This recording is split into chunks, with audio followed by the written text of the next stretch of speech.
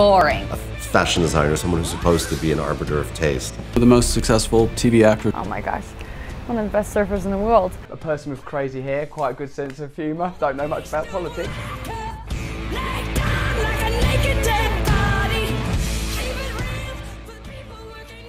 American architect Peter Marino is many things. However, he is not boring, a TV actor, or one of the best surfers in the world. Instead, Peter is a husband and a father. He is married to costume designer Jane Trapnell. Together, they have a daughter named Isabel. And leather is uh, one of those things uh, that if you touch it, that gets you going too.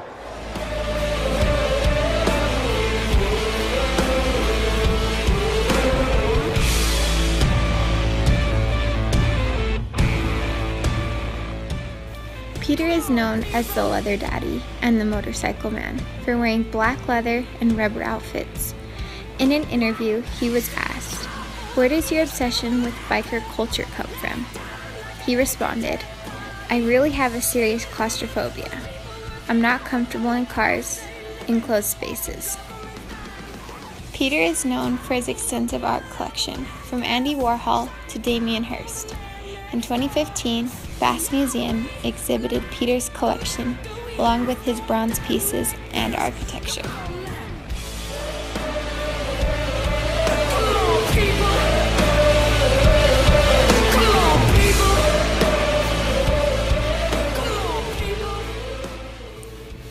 He is owner of Peter Marino Architects, founded in 1979 in New York City. Marino's design company is a high end residential, commercial, and luxury retail. Some clients include Louis Vuitton, Christian Dior, and the Four Seasons Hotel, along with many more well known icons.